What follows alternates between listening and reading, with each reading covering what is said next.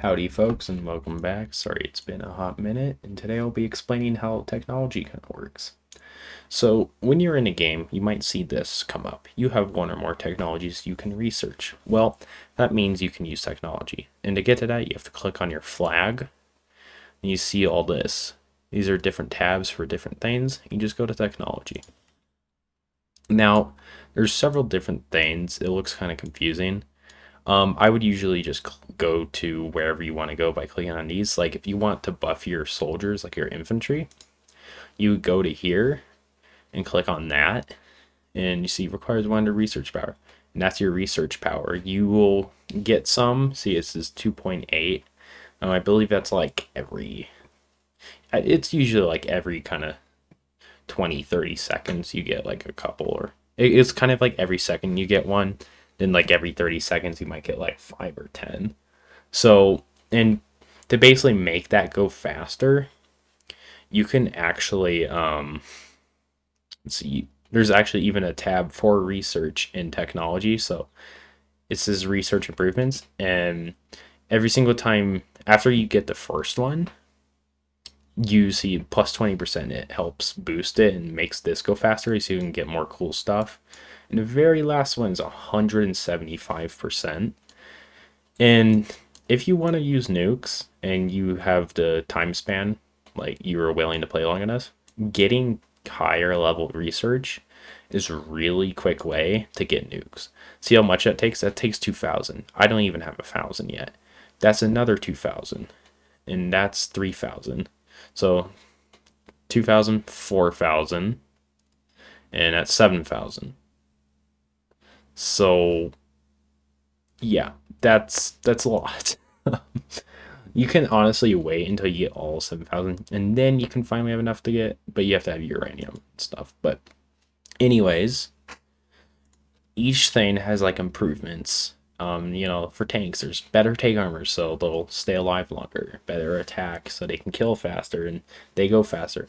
See, and then there's navy, same kind of stuff. You can kind of just look and explore. Support is great because it's for artillery. I know it's a little misleading.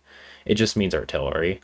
Um, I think it also could mean, um, I'm not 100% sure.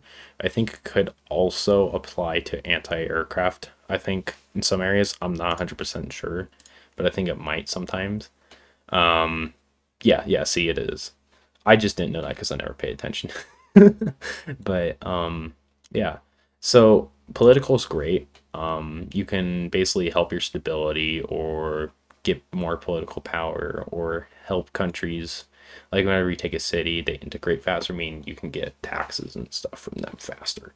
So that's kind of basic on how that works. Um, if you another way to boost it that's kind of not really known is um if you go to your country view, um, if you go to policies, it has all this stuff, and at the very bottom, or it's like towards the bottom, um, yeah, See, research output, that makes your research output a lot faster. Um, see, it's all, there's something else down here.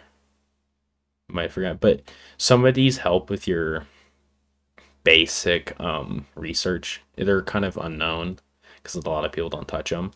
But yeah, they can help out a lot. And that's kind of how technology and research works. Um, I know it's kind of confusing, like some things. Uh, I think for where'd it go? Um, somebody actually asked me once, how come I can't get? Let's see where it went. There is something for. oh yeah, that's right. Um, air mobility. Um, somebody asked me why am I not getting like air units for my infantry. um, their title has nothing to do with it. It's just kind of like, oh, this would be it for your like you know it, realistically your infantry would get this but in reality it's just the effect. So all of these they sound really cool. Like there's cool names for them like missiles and you don't actually see these missiles and all this. Um it's just the buffs. It's just a name for the buffs. So just to let you know that. And thank you for watching and hopefully i can post more soon. Thank you